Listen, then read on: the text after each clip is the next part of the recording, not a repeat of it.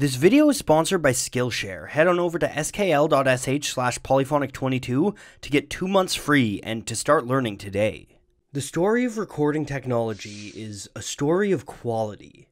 It's the story of low fidelity recordings on paper being thrown aside in favor of wax cylinders, which are then thrown aside in favor of vinyl records. It's the story of condenser microphones getting increasingly complex, able to record a wider and fuller sound. It's the story of AM radio being traded up for FM so that amplitude doesn't mean static. And it's even the story of vinyl resurgence, people foregoing the convenience of small digital files in favor of superior fidelity of analog media. It's a story full of innovation, format wars, and countless esoteric arguments as to how you should best listen to music. So then why is it that Alan Lomax's grainy field recordings are so beautiful? Why did the Mountain Goats become a cult band through cassette tape recordings? And why are there entire subgenres of YouTube videos made of vinyl crackle infused chill hop or old Alan Watts recordings over ambient music? to investigate your self-love to find out why you love yourself. In other words, why do we gravitate to the flaws that we've spent more than a century trying to remove from our media? I think the answer to this question can help us better understand what it means to be human and what it means to create art in the digital age. Let's take a closer look.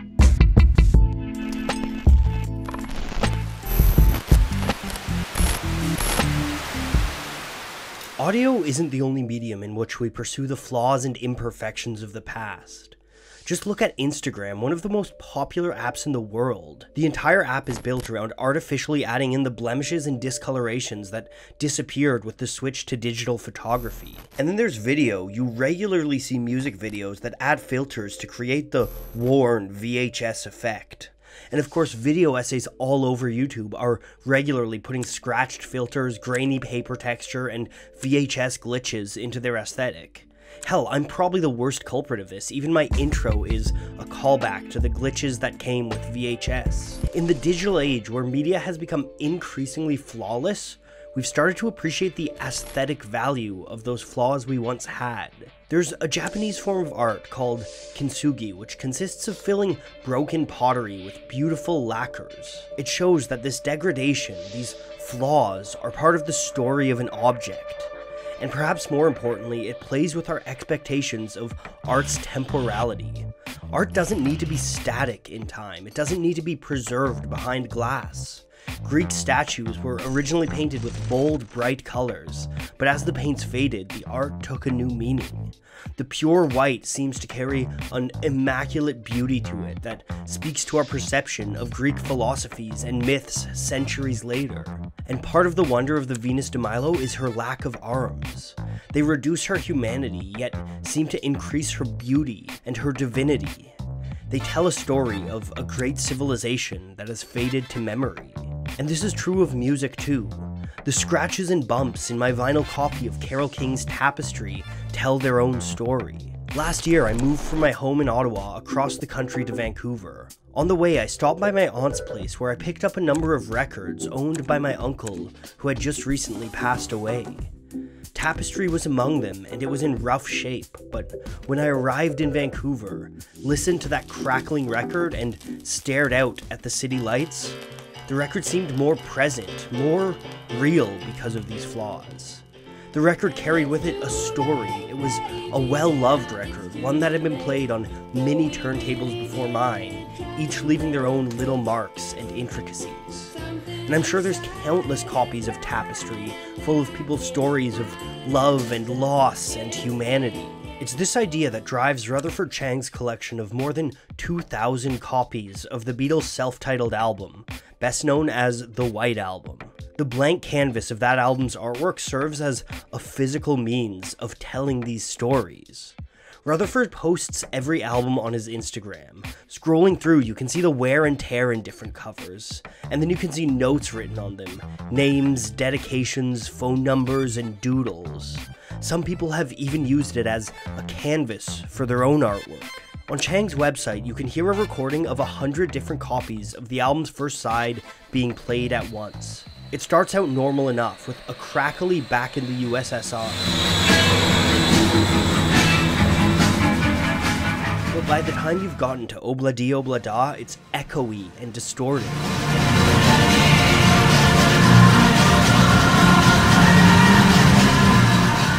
By the end of the first side, it's just pure noise.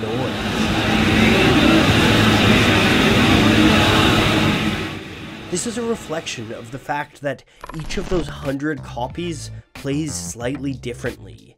Each has its own skips, its own jumps, each is its own unique artifact. And that's a quality that's been lost in the digital age.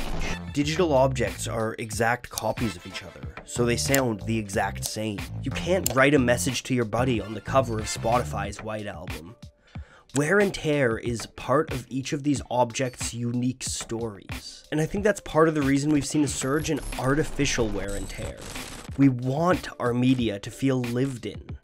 It's like a reverse kintsugi. Instead of filling in flaws in imperfect objects, we're creating artificial flaws in perfect objects. And this is used to a number of ends. I think the first and most basic thing that these flaws accomplish is a feeling of nostalgia. At my parents' cottage, we've got a beat up old VHS tape of The Princess Bride. It's my favorite movie ever, and whenever I'm at the cottage, I watch that tape. And watching it on an old TV with all of its glitches, its impure picture quality, its distorted sound, it makes me feel like a kid again. And as my generation, the generation that grew up on VHS tapes, comes of age, VHS aesthetics have creeped their way into music videos. Look at many of the videos of Mac DeMarco, which capture the beauty of home movies. And then there's genres like Vaporwave and Outrun, which are built on the cornerstone of VHS distortion. The same nostalgic effect can be captured orally too. This is something that hip hop producers started to notice as early as the 1990s. The Wu Tang Clan's debut album, Enter the Wu Tang, taps into their upbringing with worn samples of old kung fu movies. Motherfucking ruckus! Bring the motherfucking ruckus! And Nas's The World Is Yours is soaked in vinyl hiss, fitting for a song on an album that features a childhood picture of Nas on the cover. And this warm nostalgia is something that's led to the rise of lo fi hip hop. If you've spent any time on YouTube, you've probably had lo fi beats to study to recommended to you. These videos calm you with the feelings of nostalgia. There's a warm, aesthetic quality to tape hiss and audio artifacts that we tap clearly into in the modern age. But just like any sound, vinyl crackle and tape hiss can be used to convey other emotions too. A lot of lo fi music uses these sounds to create intimacy. A polished production can sound phenomenal, but can also make an artist feel distant. Musicians like Daniel Johnston realized how flaws can bring the audience closer to the musician in the early 90s. Lo fi recordings can make it feel like you're sitting next to an artist in their living room. The amateur sound makes them more approachable, more real. This is something the Mountain Goats have used to great effect throughout their career. John Darnielle's personal stories lend themselves to a kind of raw, flawed sound. I think it might be most powerful in the 2001 song The Best Ever Death Metal Band in Denton. For dreaming his dream, don't expect him to thank or forgive you. The lo fi recording of this track brings the listener closer to the characters. It highlights the humanity of the song. This kind of human story drives An Empty Bliss Beyond This World by The Caretaker. That ambient album uses degraded ballroom jazz records to tell a story of Alzheimer's disease. The flaws in the music emulate the struggle of watching your memories slip away from you. There's a warm nostalgia to the album, but also a kind of lingering horror brought on by the disintegration of these records. Pitchfork even compared An Empty Bliss Beyond This World to the ballroom in The Shining. Degraded media is frequently used to create horror. A part of this is probably because so many people grew up watching old horror flicks on VHS, but there's a deeper level beyond that. This is something that Clipping have leaned into on There Exists an Addiction to Blood. The aesthetic theme that guides that album is 80s horror, and it's created through degraded media. La Mala Ordina uses degradation in both the music and the video to create this horror atmosphere. The distortion in both increases as the song goes on, growing a latent horror until the song descends into pure noise.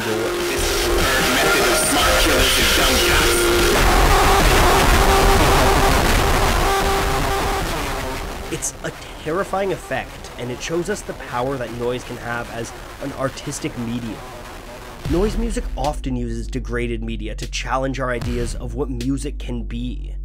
Just look at how visual and auditory noise are used in Death Grip's Guillotine. But I think one of the strongest uses of this kind of degrading sound comes in William Basinski's The Disintegration Loops. Basinski is an ambient and avant garde composer. Inspired by the likes of Brian Eno, he started recording various everyday things, found sound to be used in his music. Two decades later, he decided to transfer these old recordings from tape to digital.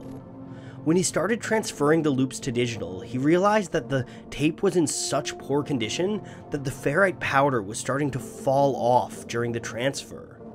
And so he recorded the sound as it was slowly dying. The result is the Disintegration Loops, a hauntingly beautiful piece of ambient music. Basinski finished the loops on September 11, 2001.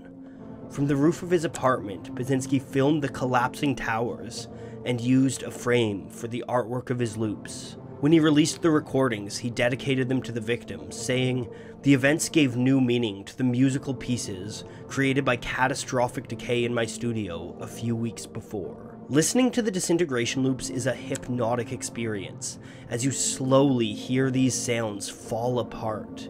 It's like listening to the world falling apart around you.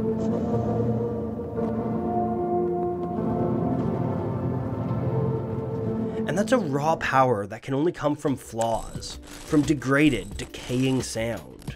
The world is imperfect, and I think that's why we love imperfect media.